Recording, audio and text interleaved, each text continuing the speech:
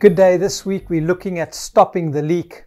And uh, we've seen how we need to stop the leak in our relationship with God by pressing into a relationship with Him. This morning I want to talk us talk about emotional leaks. You know, we live in a world with stressed out people who are emotionally drained and are on the edge with regards to their emotions and are often medicating their emotions through pills or through alcohol or through drug abuse, just trying to get some kind of peace. And one of the first things we've got to realize, man, if you're in a hole, stop digging. You need to get yourself out of these things. And one of the ways that we can do that is to recognize, man, God has created you with emotions. Emotions are important and we live from what we are believing, but our emotions follow our predominant thoughts in life. You know, in Proverbs 17:20 it says a crooked heart finds no good thing. So it might be that if I'm not finding any good thing, it could be because my heart is crooked and I'm allowing thoughts to affect my heart negatively. The same is true positively. It says in uh, Proverbs, it says, A cheerful heart brings a smile to your face, a sad heart makes it hard to get through the day. A miserable heart means a miserable life. A cheerful heart fills the day with a song. It's just saying here, man, I get to choose what kind of day I'm going to have, whether it's going to be miserable or joyful based on the condition of my heart. So, what are you allowing to affect your heart, which will affect your emotions? What are you thinking about that is your predominant thought that is affecting your heart, where you begin to feel certain emotions within you?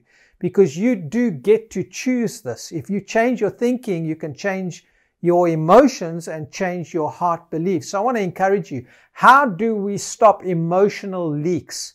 How do we get to the place where we can experience peace throughout the day and have this experience of joy?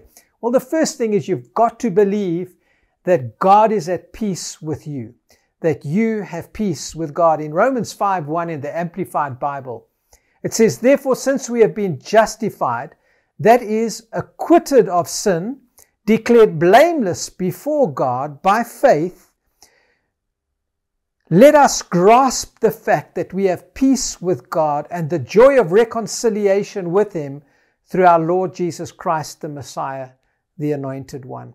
So he's saying here, man, for me to experience an abiding sense of peace, it's to really believe in my heart that I've been acquitted of all sin and that I have been declared blameless before God. What an, a wonderful emotion that you are in a relationship with God where He finds no fault with you having peace with God, knowing that God is at peace with you, is the first thing for peaceful emotion. Secondly, we often need to change our beliefs.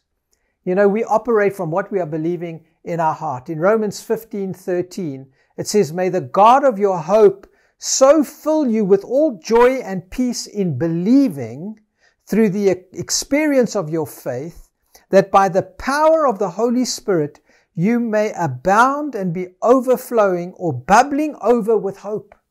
So you've got to ask yourself the question, man, where are my emotions when it comes to hope? Am I actually bubbling over with hope? With hope is a confident expectation of good.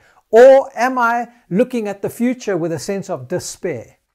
See, the Bible is very clear here that my when I start to believe God, anchored in his love for me, that experience produces joy and hope. And I want to encourage you, man, for you to stabilize your emotions, change your beliefs, and start to activate your heart in terms of trusting God. And thirdly, let God be God. Don't try and control everything. We, you know, many people are trying to control every step. Sometimes you've just got to let God be God. In Psalm 118:8, it says, It is better to trust in the Lord than to put confidence in men. Man, it's so much better to put your hope and confidence in God. In Proverbs 3, verses 5 and 6, it says, Trust in the Lord with all of your heart. Lean not on your own understanding. In all your ways, acknowledge Him, and He will direct your paths. So, my job is to trust Him and acknowledge Him and not lean on my own understanding. And His job will be that He will direct my paths. So, I want to encourage you today don't allow your emotions to get so low where you've leaked out completely and you've got nothing left. But press into God, knowing, man, that He's at peace with you, that you can have peace with Him, that you can change your heart by believing the truth and you can trust God in the process. Always remember, you are highly favored and deeply loved of God.